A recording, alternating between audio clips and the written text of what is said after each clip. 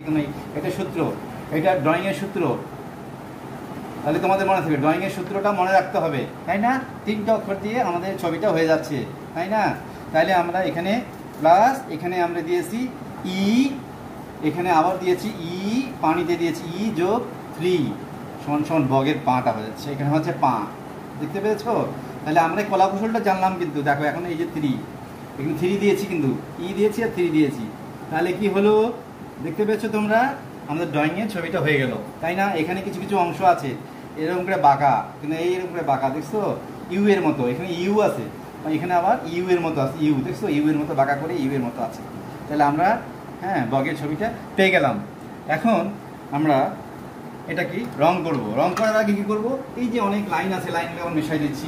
এই লাইনগুলো এগুলি থাকবে, এগুলি পার্টগুলো থাকবে, কারণ আছে। পার্টগুলো রাখছি কেন তোমাদের বোঝানোর জন্য তোমরা বুঝতে পারো সহজে।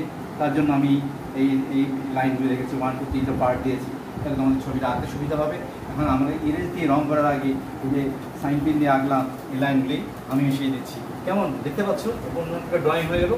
আমি সাইন পেন দিয়ে রাবার দিয়ে এগুলি ইরেজ করে ফেলছি। কেন? যাতে তোমরা ড্রয়িংটা সুন্দরভাবে দেখতে পারো, পরিষ্কার পরিচ্ছন্নভাবে দেখতে পারো। তোমরা নিশ্চয়ই এই পার্টটা দেখতে পাচ্ছ আমি ড্রয়িংটা করলাম। এখানে কি দেখেন C C plus B plus one এই বক হলো, পানিটা হলো কি দিয়ে? ই যোগ থ্রি পা হলো, আর এটা ইউ দিয়ে এগুলো হলো। এখন আমরা কি করব? আমরা এখানে দেখতে পাচ্ছি, এখানে একটা পেজ এখানে আছে ম্যাজিকের মতো একটা পেজ তোমাদের ম্যাজিক দেখাবো। সুন্দর মধ্যে আস্তে আস্তে আস্তে করে একটা ম্যাজিক দেখতে পাচ্ছি। দেখতে পাচ্ছ তোমরা, এখানে আমাদের কিছু অংশ আমরা দেখতে পাচ্ছি। কি দেখতে পাচ্ছি? নিশ্চয়ই শিক্ষার্থীরা বুঝতে পারতেছো।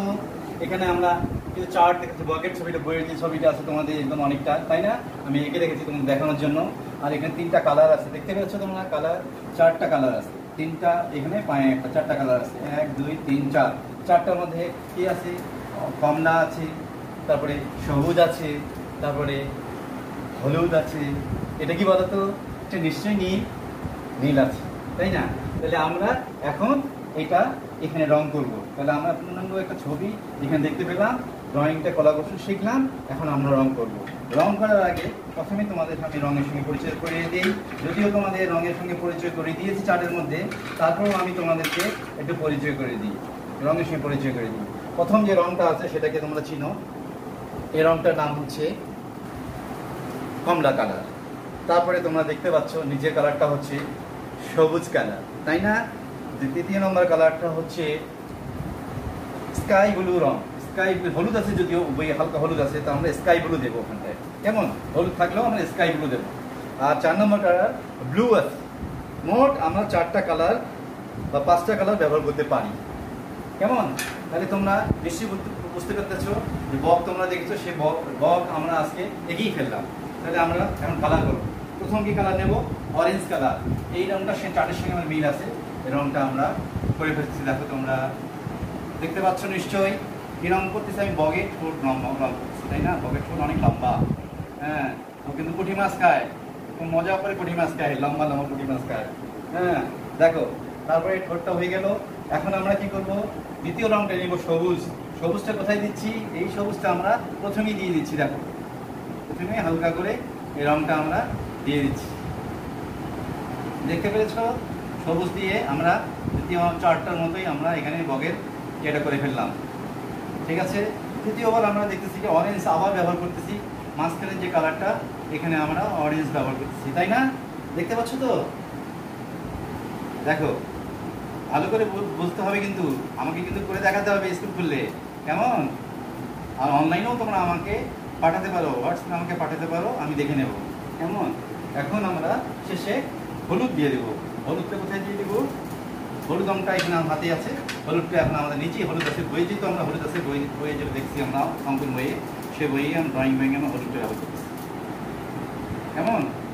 আছে এই হলুদটা আমি এখানে ব্যবহার করতেছি। এই চার্টে আমি রেখেছি এটা, হলুদ রেখেছি। দেখেছ? এখন হলুদ রাখার পরে আমি কি করব? শেষে আমাকে ব্লু রং দেবো। এখন ব্লু রংটা কোথায় দিচ্ছি? এই অংশ একটা এখানে দেখো, তোমার বইটা তোমাদের আছে, তোমার বইয়ের মধ্যে দেখো এখানে আছে। এখানে আমরা এই রংটা করে তাই না? দেখতে পাচ্ছ তো? দেখো, কি সুন্দরভাবে।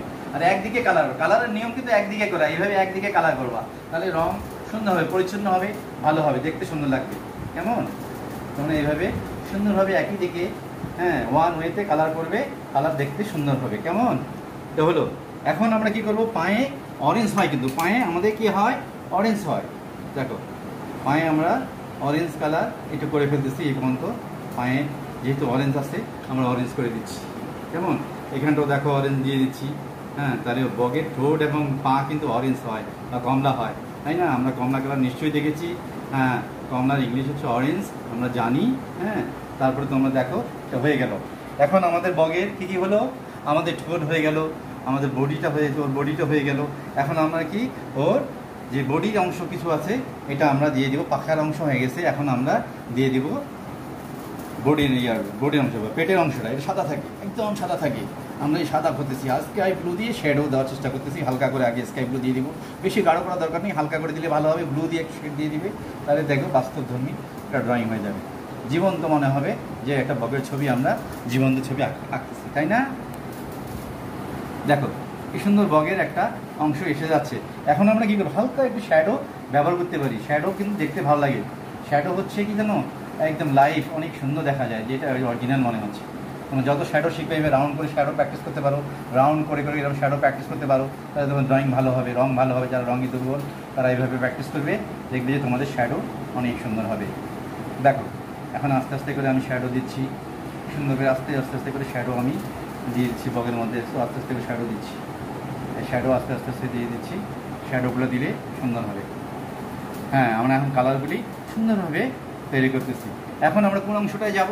এখন আমরা দেখো আমরা এখন নিচের পানির অংশটা যাব। পানির অংশটাকে আমরা এইভাবে আগে লাইনটা দিয়ে দিচ্ছি ব্লু দিয়ে গাঢ় ব্লু দিয়ে দিচ্ছি। হ্যাঁ কেন যে হালকা আকাশের মধ্যে গাঢ় ব্লু নীল দিলে হ্যাঁ, সুন্দর লাগে দেখতে। তখন কি মনে হয় যে এটা একদম ঢেউ করেছে অরিজিনাল যে ঢেউ তরঙ্গগুলি দেখা যায় সুন্দর পানির যে একটা আলো ছায়া আমরা বাস্তব ব্লু এখানে আমরা খুঁজে পাবো। যদি আমরা এখানে ব্লু এবং নীল এবং আকাশির ব্যবহার করে থাকি। কেমন? দেখতে পাচ্ছ তোমরা ছবিটা। এখন কত সুন্দর লাগতেছে। শিক্ষার্থীরা, তোমাদের কেমন লাগতেছে ড্রয়িংটা দেখো।